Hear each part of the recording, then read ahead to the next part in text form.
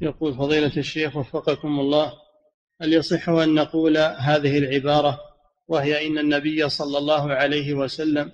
إنما سحر في بدنه ولم يخالطه في عقله شيء فالسحر في بدنه فقط لا غير هذا هو هذا كلامنا وسحره أصابه في بدنه وفي صحته كما يصيبه المرض الجراحة غير ذلك نعم